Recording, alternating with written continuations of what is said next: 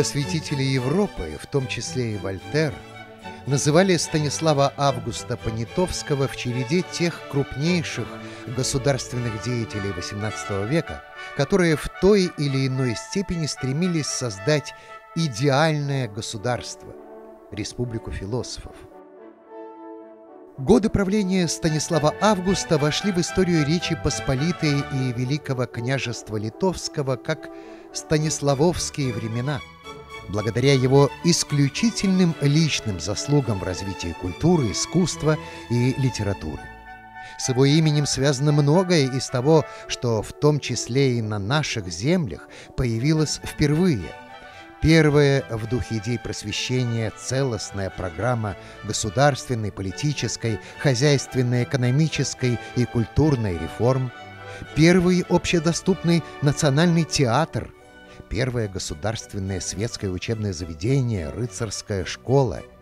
Первое в Европе Министерство народного образования. Последний польский король был и одним из основных авторов первой в Европе Конституции 3 мая 1791 года, которая снискала общеевропейскую известность и вызвала восторг просветителей разных стран.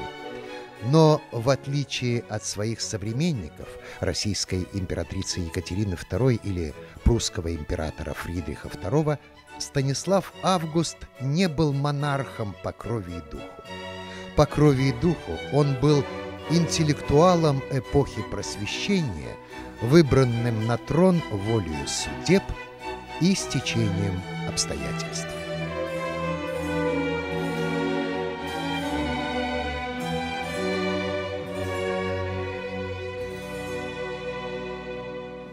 Шла зима 1732 года. 17 января в Волчине, Брест-Литовского воеводства, в семье подскарбия Великого княжества Литовского Станислава Понятовского появился очередной шестой ребенок. Сына назвали Станиславом Антонием. Будущий монарх был крещен в старом деревянном Волчинском костеле. Храм не сохранился до наших дней. Сегодня на том самом месте стоит каменный костел Святой Троицы. Именно здесь по воле судьбы через 140 лет после кончины будут захоронены останки последнего польского короля. Сохранились документы. Книга «Метрик костела Волчинского» от 1653 года, в которой за номером 191 была сделана запись Лето Божьего 1732 в январе, дня 17 светлейший, достойнейший пан Станислав, граф Понятовский, получил от законной своей жены Констанции, сына Станислава Антония, в 10 часов перед обедом рожденного.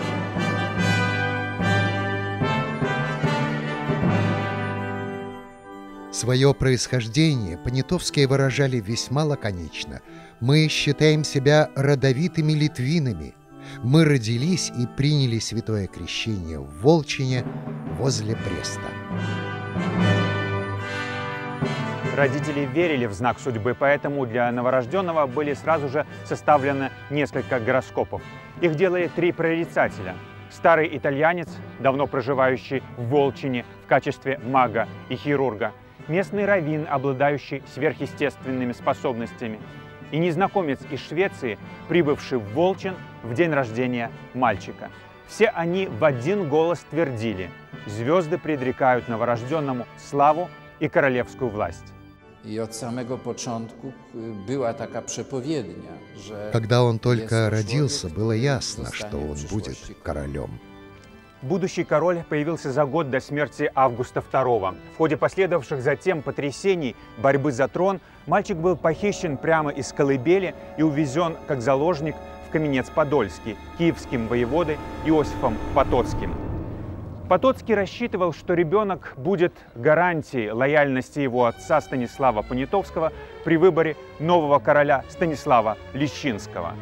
На протяжении всей жизни Потоцкие будут лютыми врагами понятовских. Эта ненависть заденет не одно поколение. Через полгода ребенка вернули. Королем был провозглашен Август III. Семья Понятовских служила образцом для всей страны. Первоначальное образование Станислав Антоний после коронации, он возьмет себе имя Станислав Август, получил дома. Его мать Констанция из рода Черторыйских имела великолепное образование, организовала в Волчине школу и сама там преподавала. Школу посещали дети и из соседних имений. Среди них был и Антоний Тезенгаус, будущий сподвижник, реформатор короля. Шел 1748 год. 86-тысячный корпус русских войск под командованием князя Репнина шел через Польшу на помощь Австрии. Отец Станислава Августа хотел, чтобы его сын принял участие в этом походе. Но его еще не успели снарядить, как были подписаны предварительные условия Ахенского мира, окончившего войну за австрийское наследство. Тем не менее, Понятовский, по желанию отца, все-таки отправился в главную штаб-квартиру фельдмаршала Левендаля в Маастрихт. Отпуская сына в заграничное путешествие, родители взяли с него честное слово в том, что он не будет играть в азартные игры, не будет пить вина и крепких напитков вообще и не вступит в брак до 30-летнего возраста. С точки зрения военной, заграничное путешествие не принесло Станиславу Августу никакой пользы, так как войска, в то время как он доехал, были уже распущены, но он с большим увлечением и интересом осмотрел художественные сокровищницы Фландрии. Безусловно, полотна великих мастеров произвели огромное впечатление на юношу. Когда его изберут монархом, будет создана целая галерея произведений искусства, которая станет настоящей сокровищницей нации. По возвращении в Варшаву в октябре 1748 года будущий король был послан к своему дяде, литовскому вице-канцлеру князю Михаилу Черторийскому. Человек высокообразованный, энергичный, пользовавшийся большим влиянием, Черторыйский был в то время одним из самых влиятельных политических деятелей. Он вел обширную переписку с видными особами, которые собирались часто в его доме и беседовали о современном состоянии государства. Отец Станислава считал пребывание в доме Черторыйского для своего сына наилучшей школой, где он мог приобрести полезное познание – ознакомиться с положением страны, с надеждами и чаяниями народа и приучиться к письменным делам. В 1750 году Понятовский приезжает в Берлин, где знакомится с королевским двором. Когда я приехал в Берлин, короля не было в столице, он вернулся только три недели спустя. Я видел его два раза, и он оба раза говорил со мной. Фридрих II производил впечатление человека, который стесняется в обществе, считает долгом сказать что-либо умнее других и боится, что это ему не удастся. Он смотрит угрюмо, блуждающим взглядом. В нем нет уверенности в себе. Он одет грязно, и в его осанке нет благородства. То же мнение о его наружности высказывали многие другие – я видел в Сансуси комнату, где он обыкновенно живет и работает. В ней царствовал величайший беспорядок. Книги, бумаги валялись где попало. Везде валялись бумажки с написанными его рукою стихами. Даже мебель была нагромождена кое-как прислужницы, которые показывают публике королевские дворцы и называются костеляншами, говорили мне, что им строжайше приказано ничего не перекладывать с места на место, когда король выходит из комнаты. Я видел, например, в Шарлоттенбурге под диваном мраморный бюст Юлия Цезаря, и меня уверяли, что его не тронут. В королевской спальне в Сан-Суси я видел две совершенно одинокие кровати, стоявшие рядом. В Берлине злословили по поводу этих кроватей, но Костелянша уверяла, что король переходит с одной кровати на другую, когда его постель слишком нагретая. По возвращении в Варшаву Станислав Август, которому минуло 20 лет, был избран депутатом в Сейм, который должен был в этот раз состояться здесь, в Гродно. Быть избранным в депутаты было делом нелегким. Мало было иметь друзей в каком-либо избирательном округе, необходимо было добиться того, чтобы против кандидата не было подано ни одного голоса. А для этого приходилось скрывать, где ставишь свою кандидатуру, чтобы личный враг или соперник не навредил. Быть депутатом было не особенно интересно ибо все знали наперед, что всякий сейм будет сорван, что король сеймами не интересовался, так же, как и большинство министров. Между тем, чтобы добиться жалкого звания депутата, приходилось каждые два года ухаживать за сотню лиц, которые по своему происхождению имели неоспоримое право именоваться шляхтичами и землевладельцами-избирателями – хотя половина их была безграмотна и большинство в то время или прежде находилось в услужении у тех же вельмож, которые добивались теперь, чтобы эти шляхтичи подали голос за них или за их сыновей. На шумных собраниях, именуемых сеймиками, приходилось с утра до вечера молоть вздор – восторгаться болтовней шляхтичей, делать вид, что восхищаешься их остротами, и обнимать и лобзать их грязные, вшивые персоны. Ввиду отдыха приходилось 10 раз в день совещаться с влиятельными горожанами, или, лучше сказать, выслушивать подробности их семейных дрязг, обсуждать с ними вопрос о том, кому из благородных избирателей сколько заплатить, Приходилось завтракать, обедать, закусывать, ужинать с ними за грязными, плохо сервированными столами. Со Станиславом Понятовским приехал в Гродно сэр Уильямс, английский посланник при прусском дворе, с которым он познакомился в Берлине и, несмотря на разницу лет и положения, подружился. В Гродно они поселились в одном доме, и посланник взял с Понятовского слово, что если он поедет когда-либо в Россию, то Станислав Август будет сопровождать его.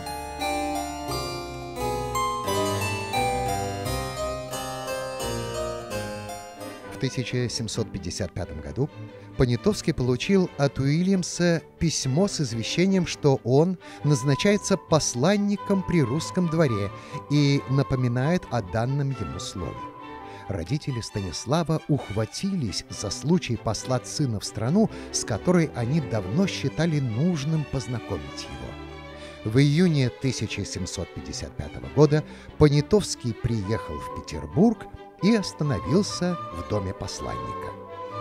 Уильямс сыграл огромную роль в судьбе Станислава Понятовского.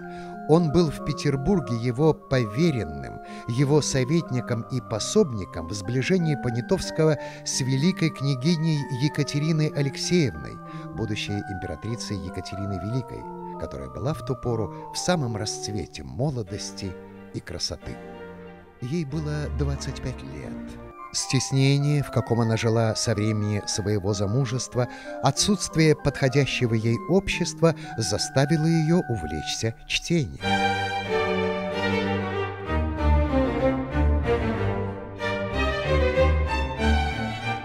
Она обладала большими познаниями, была ласкова, приветлива, умела понять слабую сторону каждого. Она уже в то время пролагала себе путь к престолу. Такова была моя возлюбленная, ставшая властительницей моей судьбы.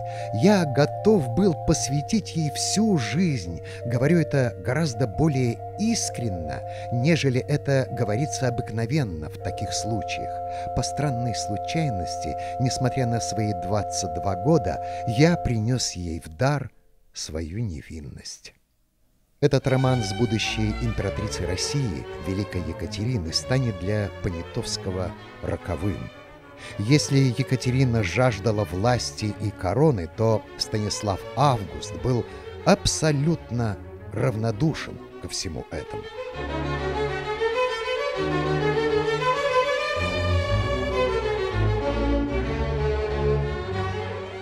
Когда их отношения были на пике, родители Понятовского отозвали его на родину, чтобы сын стал депутатом в Сейме. Великая княгиня пересилила себя и согласилась на это, но с затаенной мыслью устроить дело так, чтобы Станислав Август вернулся в Петербург и занял там более определенное положение, которое дало бы ему возможность бывать в кругу лиц, составлявших ее общество.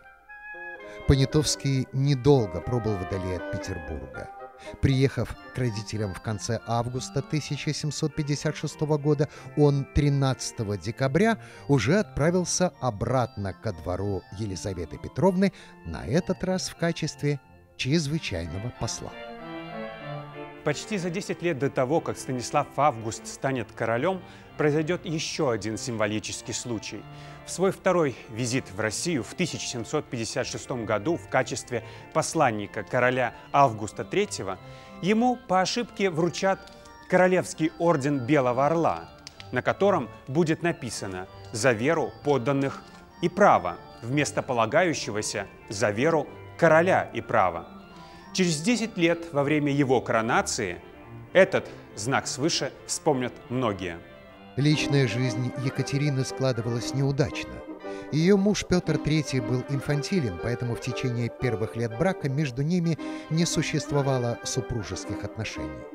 После смерти императрицы Елизаветы Петровны в течение шести месяцев правления Петра III отношения Екатерины с мужем продолжали ухудшаться, став явно враждебными. Возникла угроза ее ареста и возможной высылки. Екатерина тщательно готовила заговор. В ночь на 28 июня 1762 года, когда император находился в Ораниенбауме, Екатерина тайно прибыла в Петербург и в казармах Измайловского полка была провозглашена самодержавной императрицей. Убедительно прошу вас не спешить с приездом сюда, потому что ваше присутствие при настоящих обстоятельствах было бы опасно для вас и очень вредно для меня. Переворот, который только что совершился в мою пользу, походит на чудо. Прямо изумительно то единодушие, с которым это произошло. Я завалена делами и не могу сообщить вам подробную реляцию. Всю жизнь я буду только стремиться быть вам полезной и уважать и вас, и вашу семью, но теперь здесь все полно опасностей, чревато последствиями. Я не спала три ночи и ела только два раза за четыре дня. Прощайте, будьте здоровы. Ровно через месяц Понятовский получает новое письмо 2 августа 1762 года. Я незамедлительно направляю послом в Польшу графа Казерлинга с тем, чтобы он сделал вас королем после кончины нынешнего. Все умы здесь еще в брожении – Прошу вас воздержаться от приезда сюда, чтобы брожение это не усиливать. Ваше письмо я получила. Регулярная переписка встречает тысячи препятствий. Мне приходится соблюдать 20 тысяч предосторожностей. У меня нет времени писать любовные записки. Я крайне стеснена во всем. Не могу описать вам этого подробно, но это так.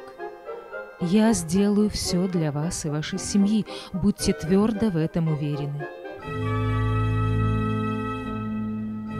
Зимой 1763-64 годов Понятовский дважды писал императрице «Не делайте меня королем, призовите меня к себе». Две причины диктовали мне такие слова. Первое — чувство, которое я все еще хранил в своем сердце. Вторая — убеждение в том, что я сумею больше сделать для моей родины, находясь в качестве частного лица вблизи императрицы, чем будучи королем здесь. Но все напрасно. Мои мольбы не были услышаны. По древней традиции коронация нового монарха Польши должна была проходить в Краковском Вавиле. Еще в 1320 году здесь первым короновался Владислав Лакеток. Эта первая церемония в Вавельском кафедральном соборе закрепила за Краковом положение столичного королевского города. Наибольший расцвет город получает во времена правления династии Егелонов в XIV и XV веках. В XVI веке в столичном городе наступает бурное развитие ренессансной культуры – по велению короля Сигизмунда I и его жены королевы Бонны Сфорца здесь трудились выдающиеся архитекторы и скульпторы. Результатом их деятельности была перестройка прежнего готического замка в новую резиденцию, сохранившую до сих пор свой ренессансный облик.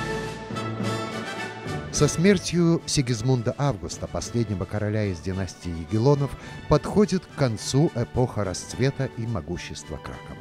После заключения унии между Польшей и Литвой в 1569 году Краков, оказавшись на окраине огромной Речи Посполитой, теряет свое прежнее историческое значение, уступая место Варшаве, расположенной в центре государства. Однако Краков не утратил до конца свою славу престольного города. Вавельскому кафедральному собору был придан ранг коронационного собора всех польских королей и их усыпальницы, ведь Вавельский замок по-прежнему оставался в их владении. Но Станислав Август Понятовский первым нарушил древнюю традицию коронации в Кракове.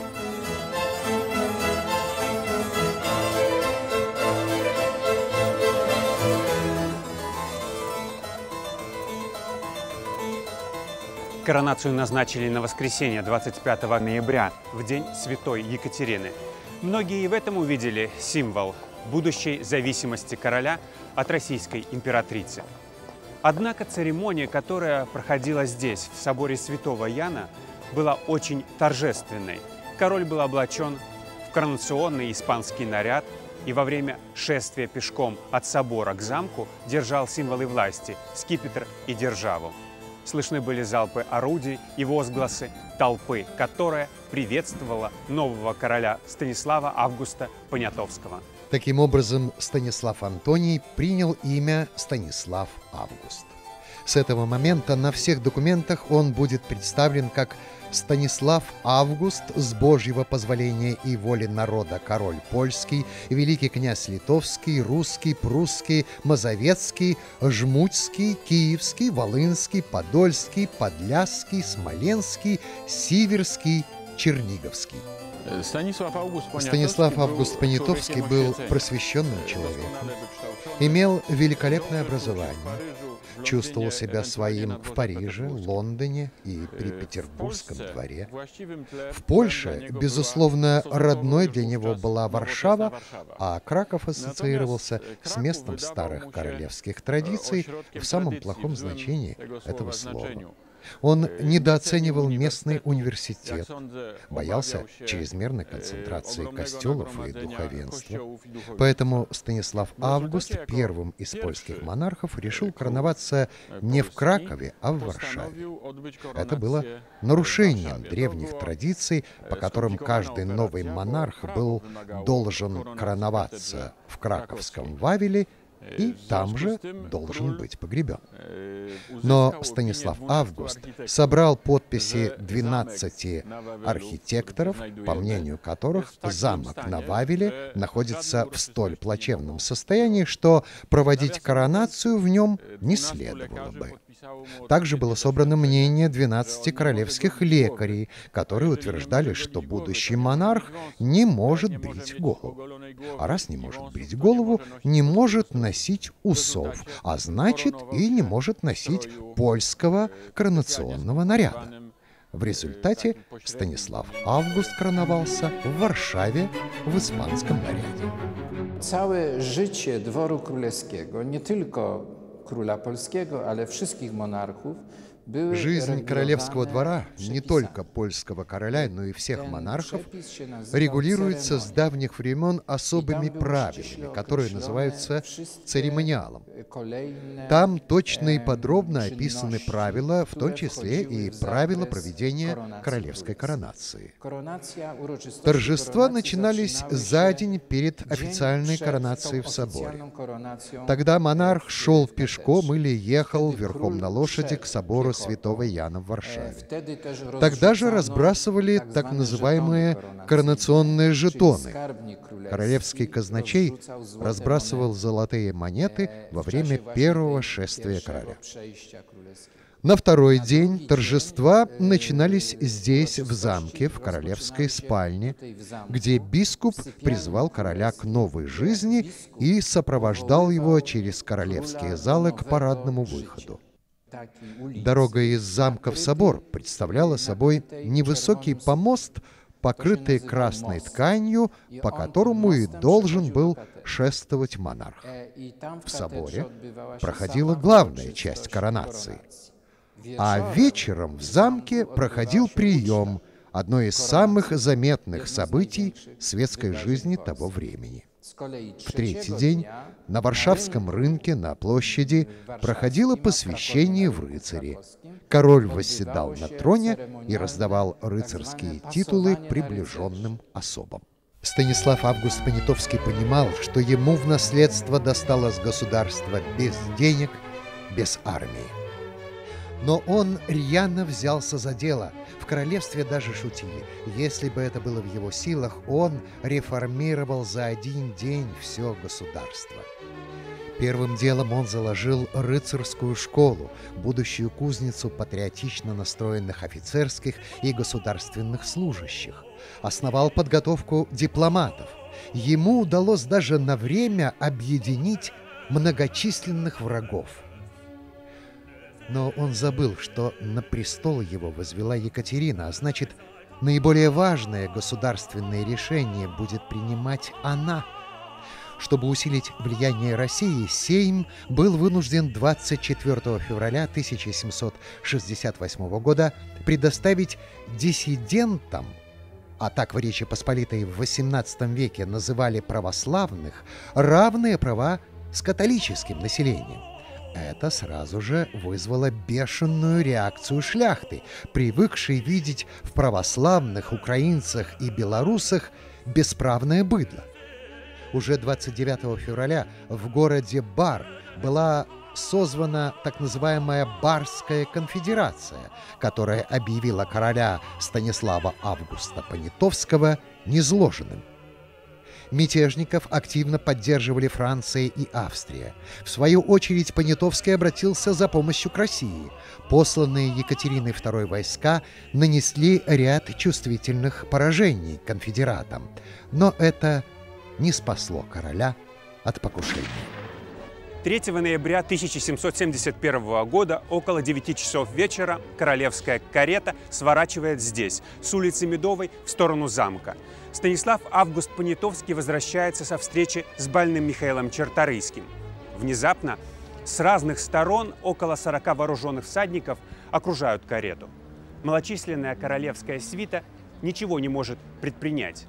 Монарха просят выйти, затем хватают, садят на коня и исчезают за стенами только что возведенных укреплений. На Станислава Августа совершено покушение прямо здесь, у ворот Королевского замка. Был убит его охранник и тяжело ранен один придворный из свиты короля. Конфедераты находились в шаге от убийства монарха. Только чудом в этой перестрелке пуля не задела короля.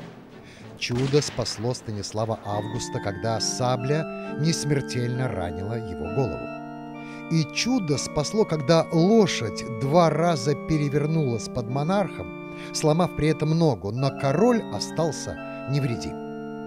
Его Величество привезли на старую мельницу недалеко от Варшавы, а в Королевском замке в это время началась паника. Паника была и у представителей российской императрицы, которые не ожидали такого поворота. Но в пять утра монарха освободили. Позже этот знак свыше Станислав Август расценит не иначе, как божескую опеку. Było to bardzo wielkie przeżycie, nie tylko osobiste dla króla, Это было очень большим потрясением не только для короля, но и для всей страны. Потому что король был так называемым Божьим помазанником. Покушение на короля было самым тяжким преступлением, потому что это было покушение на человека, освященного во время коронации. Это было трактовано как нарушение порядка Божьего. Позже Станислав Август посвятил оформление большого зала здесь, в Королевском замке, теме порядка в стране. И король награждал орденами в первую очередь тех особ, кто поддерживал порядок в государстве. Станислав Август под впечатлением покушения этих всех событий создал целую тему в большом зале, которая на большом плафоне запечатлела развитие хаоса и упорядочение мира.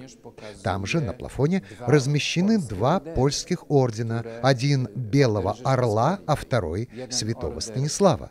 Именно в этом зале Станислав Август после решил проводить церемонии награждения. Это была гражданская война в Речи Посполитой.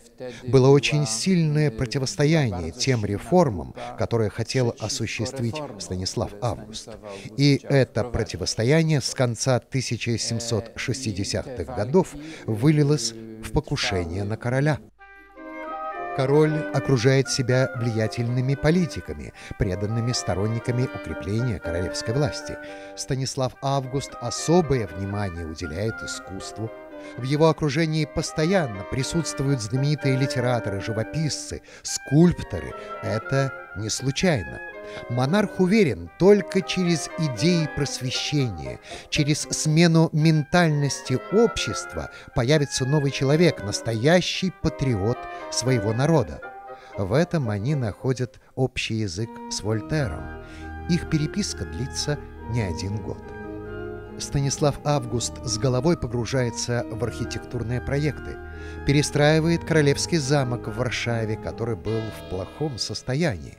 Королевская резиденция с помощью приглашенных западных архитекторов Якуба Фонтаны и Доминика Мерлини становится оживленным центром политической и культурной жизни страны. Замок w Warszawie był rezydencją oficjalną. Замок Королевский в Варшаве был официальной резиденцией королевской. Здесь принимали важнейшие государственные делегации. Здесь проходили важнейшие политические события, начиная с коронации, которая, как мы знаем, длилась три дня и проходила здесь и в костеле рядом с замком. Здесь Станислав Август принимал все главные делегации трибунала и сейма. Здесь проходили важные важные королевские торжества, в том числе и по поводу выборов в Сейм. Сейм в XVIII веке работал иначе, было всего две сессии. И сессии открывали великим торжеством и приемом в королевских апартаментах. Здесь проходили воскресные аудиенции, их проводили обычно в тронном зале. В большом зале по воскресеньям проходили так званые дворцовые вечеринки. Если лазенки были любимым местом пребывания короля, то королевский замок был местом государственной службы монарха. Самым представительным в замке был второй этаж – Здесь располагались большие апартаменты государственного характера и личные королевские покои. Здесь же были устроены и залы сейма. Частной жизни короля служили в основном шесть помещений. Опочивальня, прихожая перед гардеробной, гардеробная, кабинет, зеленая комната и желтая комната. Здесь была сосредоточена повседневная жизнь двора. Тут король давал неформальные аудиенции и прежде всего работал и отдыхал, устраивал обеды и ужины в узком кругу. Обычно такие обеды готовил любимый королевский повар Павел Тремо, который позже будет обвинен в отравлении короля, но тут же будет оправдан. Так вот, обычно на королевский стол подавали борщ с ушками, копчености, маринады, колбаски, паштетики, любимую королем баранью печень и на крайний случай птицу, иногда рыбу. Хотя к столу всегда подавали лучшее вина, король всегда пил только воду. Особенно уютным был интерьер в опочивальне. Характер комнаты определяли элегантная панель из тисового дерева, тонкий рисунок декоративной обивочной ткани и выдержанные в теплых тонах картины придворного художника Марчелло Бачарелли. В центре опочивальни было установлено ложе короля – Позже, когда король будет вынужден покинуть Варшаву по приказу императрицы Екатерины II, в Гродно он перевезет с собой и это ложе. С королевскими апартаментами тесно связана Малая капелла. В ее нефе выставлены королевские регалии Станислава Августа. Меч, цепь ордена Белого Орла и скипетр.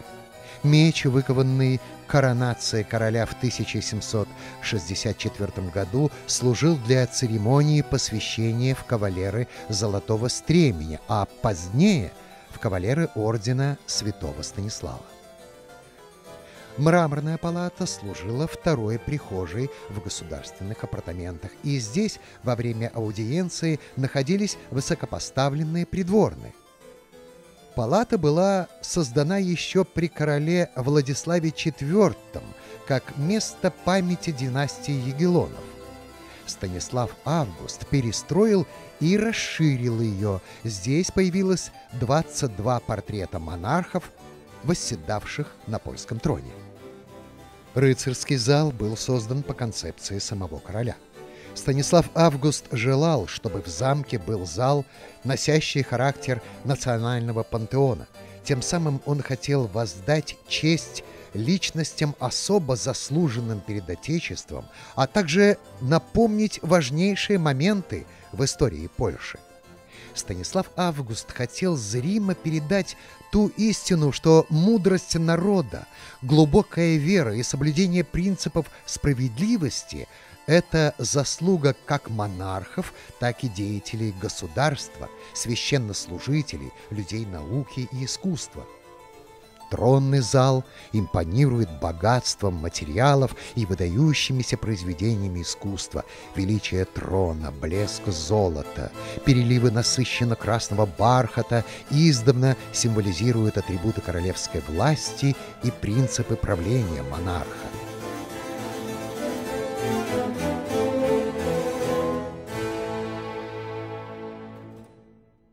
Однако любимым местом короля в Варшаве были лазенки. Здесь Станислав Август возводит роскошную загородную резиденцию.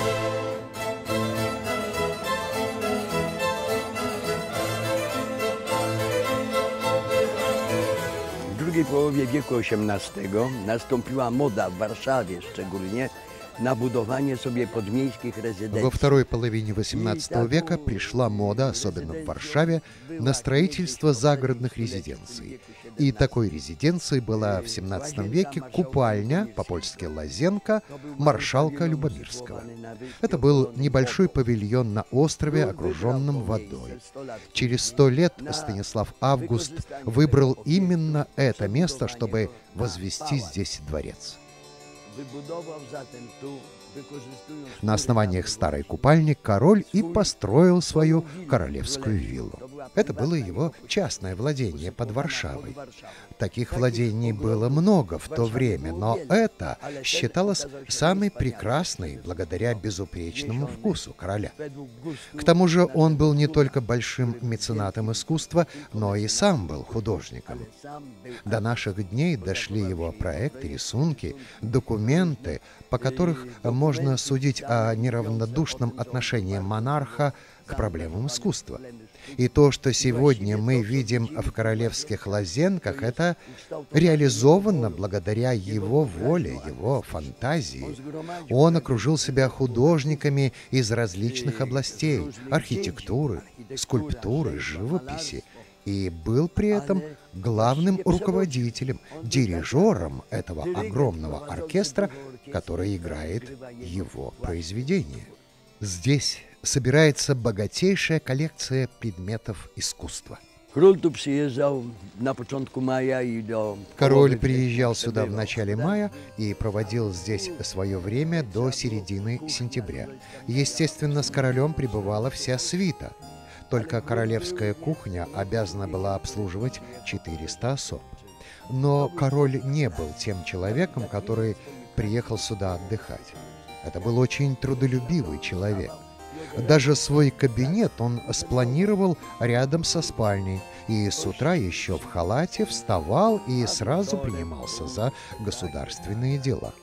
Здесь проходил прием многочисленных гостей, а вечером обычно театральные спектакли, отдых, прогулки на лодках по каналам. Особое внимание король уделял театру, балету и опере. Еще в 1765 году был основан первый народный театр. Король продвигал новые веяния не только в архитектуре, скульптуре, живописи, но и в литературе, театре. Вот почему здесь в то время было три театра, в том числе и в Королевском замке в Варшаве. Он создал вокруг себя артистическое сообщество. Он любил поэзию, собрал большую библиотеку, в которой было 16 тысяч томов. По четвергам король специально проводил встречи с писателями, художниками, философами. Это были знаменитые обеды по четвергам у короля в Лазенках. С ними он обсуждал наиболее важные проблемы культуры, образования. Именно при короле было создано первое в мире Министерство образования. Эти идеи зарождались здесь, в среде лучших представителей эпохи просвещения. Эпоха Станислава Августа Понятовского была слишком коротка, чтобы предпринятые реформы успели принести конкретные результаты в масштабе всей страны. Однако повышение уровня грамотности и образованности городского населения стало очевидно еще до конца XVIII века.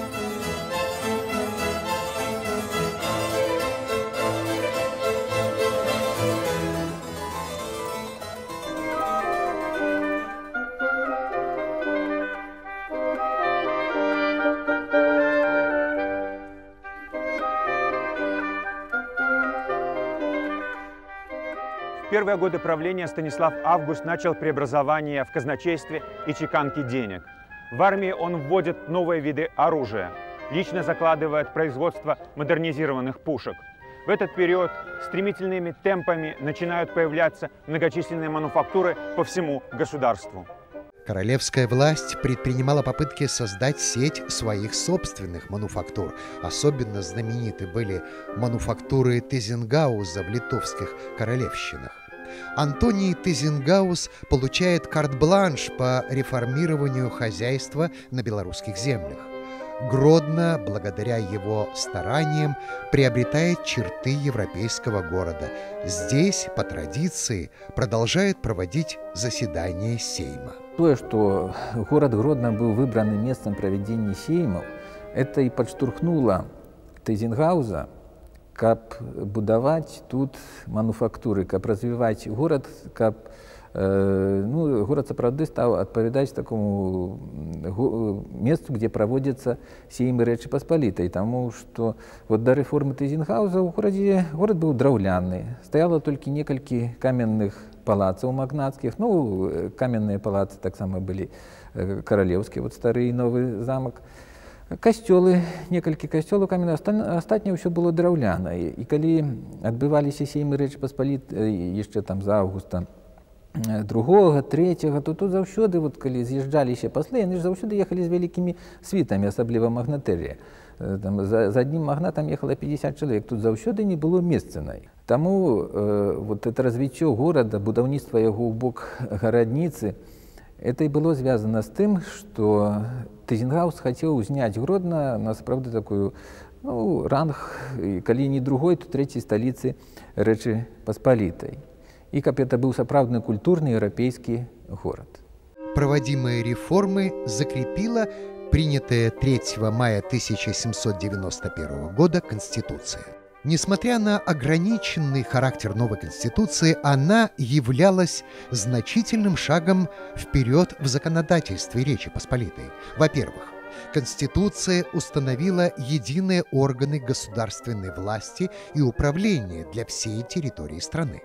Во-вторых, в основу Конституции был положен принцип разделения властей – законодательная, исполнительная и судебная, а также – были провозглашены так называемые гражданские свободы, по существу подтверждавшие привилегированное положение магнатов, шляхты и духовенства и предусматривавшие некоторые льготы для зажиточной части мещанства – Конституция 3 мая 1791 года стала первым в Европе и вторым в мире конституционным законом после Конституции США. Конституция ставила перед собой задачу обуздать шляхетскую анархию и создать в Польше прочный государственный порядок, который бы дал силу пришедшему в упадок государству и охранил бы его от притязаний со стороны сильных соседей Пруссии, России и Австрии. Для этих государств равно как и для той части шляхетской партии, которая умела использовать выгоды из анархии государства, новая конституция была невыгодна. 17 июня 1793 года шляхетство было созвано на Сейм в Гродно, где под давлением России состоялось немое признание второго раздела Польши. Уязвленное самолюбие шляхтичей не могло смириться с национальным унижением, и в 1794 году страну охватило восстание под предводительством Тадеуша Костюшка. После подавления восстания Станислава Августа заставили покинуть Королевский замок. По приказу Екатерины II, несмотря на плохую погоду, зимой, под конвоем 120 российских драгунов он выехал из Варшавы сюда, в Гродно. Здесь его ждал российский наместник Николай Репнин, под опекой и надзором которого последний польский король и проведет более года. 1 января 1795 года, ровно в 12 часов дня, карета с монархом прибыла сюда, во двор королевского замка. Находящийся здесь караул отдал честь с музыкой и барабанным боем. 25 ноября 1795 года, в день Святой Екатерины и в 31 год своего восшествия на престол Станислав Август Понятовский отрекся от королевской власти в Гродненском замке. Это уже была лишь формальность. За месяц до этого, 24 октября, Россия, Австрия и Пруссия закончили третий раздел Речи Посполитой. Польское государство перестало существовать. Смерть Екатерины II в 1796 году позволила Станиславу Августу выбраться из Гродненского заточения. Павел I, который ненавидел свою мать, пригласил отставного монарха в Петербург. Это было новое заточение, но это была уже золотая клетка. 15 февраля 1797 года он навсегда покинул Гродненский замок.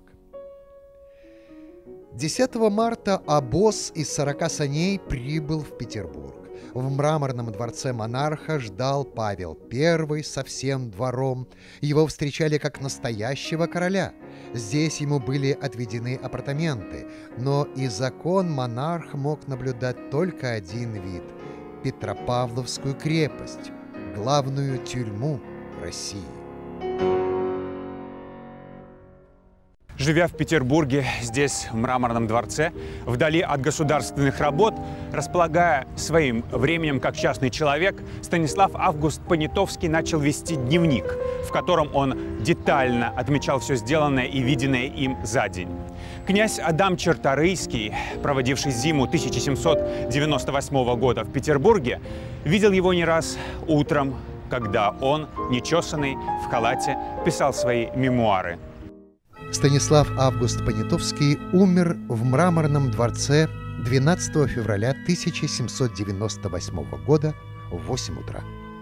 Почувствовав себя плохо после выпитого бульона, приготовленного его поваром Павлом Тремо, которого обвинили в отравлении короля, но сразу же оправдали.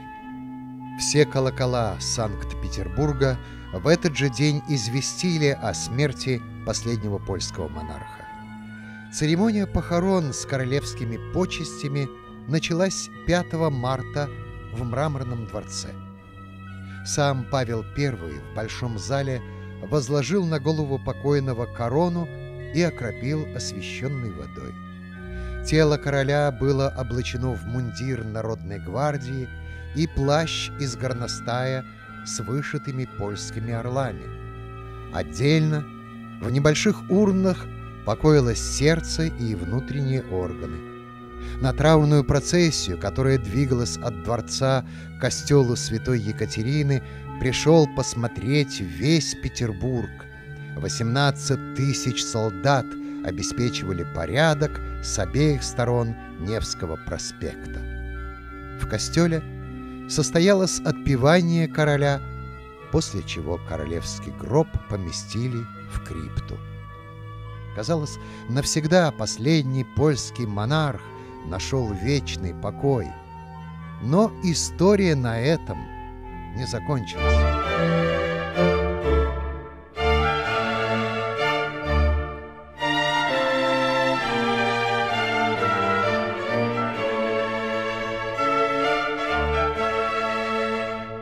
Спустя 140 лет, в ночь с 14 на 15 июля 1938 года, прах короля был доставлен в Волчин, в родное имение Понятовских.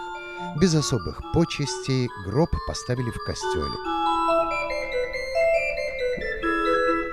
Но и здесь не нашел Станислав Август покоя. Костел со временем превратился в руины, крипта была разграблена. Останки захоронения, части гроба, куски ткани, шпоры и другие детали были перевезены в собор Святого Яна в Варшаве, где и было сделано символическое захоронение монарха, установлена белая мраморная плита. Но сами останки короля не были перевезены. Их просто не нашли.